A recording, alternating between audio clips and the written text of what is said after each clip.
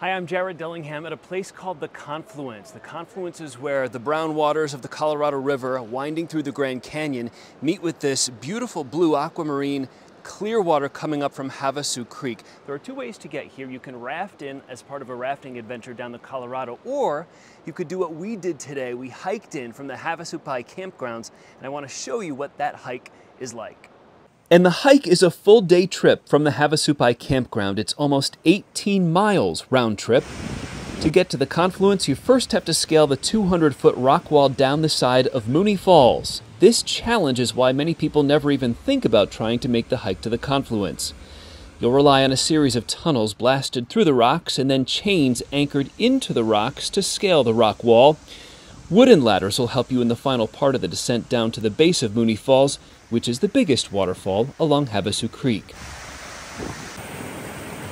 You'll have to cross the creek seven times on the hike to the confluence. Some people wear water shoes and change at each crossing.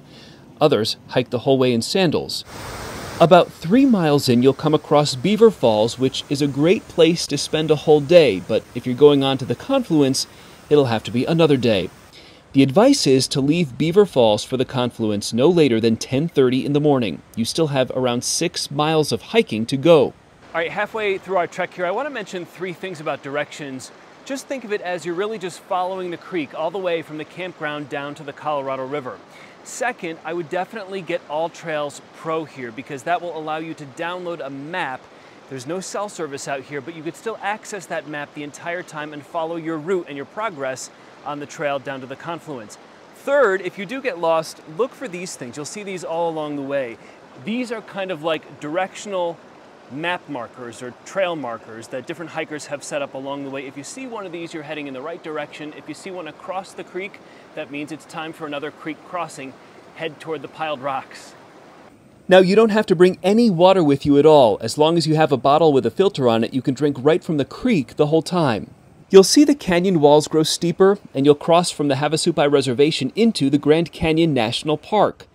Once you reach a natural tunnel you'll have to climb through, you're in your final mile. Havasu Creek grows narrower and the current picks up. One final climb up some rocks reveals the Colorado River. Looking down, it is almost mesmerizing to watch the watercolors swirl together. The rafters tied up here are eight days into their trip down the Colorado River from Page, Arizona. You'll also see people swimming near the confluence. Now, the water levels change here, and if it's high, I would avoid the water because you definitely do not want to be swept out.